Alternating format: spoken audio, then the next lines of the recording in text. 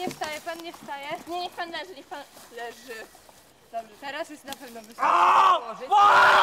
Osiem drużyn, cztery sytuacje i wielu młodych ratowników. W Ocyplu odbyły się szóste mistrzostwa pierwszej pomocy szkół ponadgimnazjalnych powiatu starogardzkiego. Głównym celem zawodów jest edukacja, a przede wszystkim oswajanie młodzieży z sytuacjami kryzysowymi. W takich sytuacjach, kiedy trochę czasami zdarza się komuś przesadzić na przykład z używkami, zdarzają się sytuacje niebezpieczne. Chcemy, żeby nasza młodzież wiedziała, jak w takich sytuacjach się zachować, jeżeli one mają miejsce. Oczywiście najlepiej, żeby nie miały. Natomiast zdarzają się, jesteśmy realistami. Chcemy, żeby młodzież była przygotowana, żeby nie tylko sobie umiała pomóc, ale pomóc też osobom, które z nimi wypoczywają.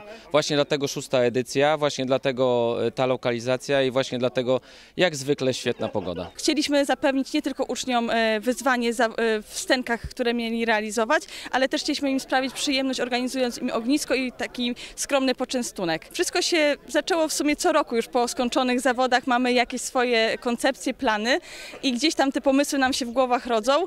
Przez cały rok e, każdy z nas ma jakieś pomysły, potem je wszystkie razem e, zbieramy i tak właśnie wychodzą takie zawody. Każdy podsuwa jakiś pomysł, mamy scenki, organizujemy je, miejsce jest z góry wyznaczone i tak jakoś to się kręci. Każda z czterech specjalnie zaplanowanych scenek ma początek swojego scenariusza w realnych akcjach ratunkowych. Po zakończeniu zadania sędzia przekazywał kapitanowi drużyny poszczególne wyniki. W walce o miejsce na podium jak co roku najbardziej liczyła się szczera chęć udzielenia pomocy i stalowe nerwy. Na moim stanowisku, gdzie była y, amputacja kończyny górnej, pilarz znaleziony w lesie, pojawiło się osiem drużyn. Wszystkie pokazały coś innego, ale tak naprawdę wszystkie pokazały to, że ta chęć niesienia pomocy jest e, bardzo istotna i bardzo ważna każdy możliwy sposób próbowali uspokoić tego poszkodowanego, który troszeczkę im przeszkadzał, bo próbował wstać. Zaopatrzyli obrażenia prawidłowo. Tego typu imprezy kładą nacisk na bardzo ważny problem XXI wieku, czyli apatię. Gdy widzimy, reagujemy, ponieważ czasem tak niewiele wystarczy, aby uratować ludzkie życie. Uświadamiałem moich rówieśników, jak ważna jest pierwsza pomoc i udzielanie jej osobom poszkodowanym. Teraz można było można zobaczyć, jak ja tutaj byłem pozorantem osoby, która poprzez piłę odcięła sobie dłoń, jak gałęzie spadły na mnie, uszkodziły mi nogę.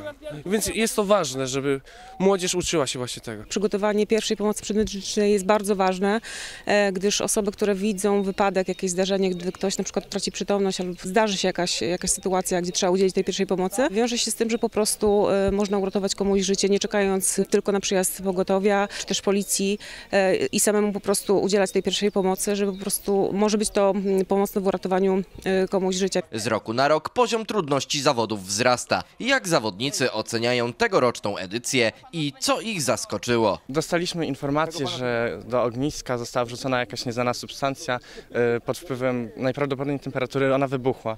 Mieliśmy osobę poparzoną, y, no, straciła oddech, musieliśmy przejść do resuscytacji.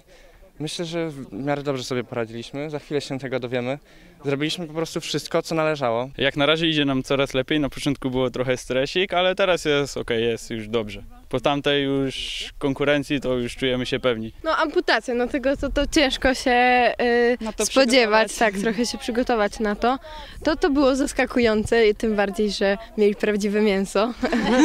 To tego się nie spodziewałam. To jest bardzo dobra lekcja na przyszłość. To jest coś takiego, co możemy wyciągnąć na następny raz, na następne zawody, a może nawet i w prawdziwym życiu. Wszyscy wiemy, że na mistrzostwach pierwszej pomocy najbardziej liczy się zaangażowanie, ale skoro to konkurs, to muszą być i zwycięzcy. Dla nas to już jest e, ostatnie zawody, Dla nas bo, tak, przy, bo w przyszłym roku już będziemy ma, sk- mieli po maturze, więc już będziemy, ale dziewczyny będą dalej kontynuować, więc mają zachętę na przyszłe lata. Poza tym, no, chyba też warto to przekazywać, tak? Więc no, widać, mamy, no, każdy ma wiedzę. Wszyscy świetnie spisali, to jest nasze zdanie, więc no, chyba najważniejszym takim celem jest przekazywać tą wiedzę i Dalej. No, dalej. Na pewno była dużo większa konkurencja niż rok temu, bo w zeszłym roku walczyliśmy tak naprawdę tylko z jedną drużyną, a teraz walczyliśmy no, praktycznie z każdą drużyną, więc naprawdę była duża rywalizacja w tym roku. Tegorocznym triumfatorom gratulujemy, ale podkreślamy fakt, że mistrzem został każdy z uczestników. Miejmy nadzieję, że wiedza, którą dziś nabyli uczniowie szkół ponadgimnazjalnych, będzie wykorzystywana jak najrzadziej.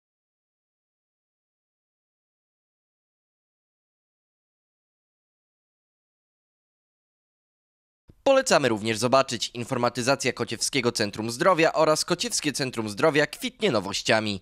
Polub nas na Facebooku, oglądaj na www.północna.tv i nie zapomnij subskrybować kanału.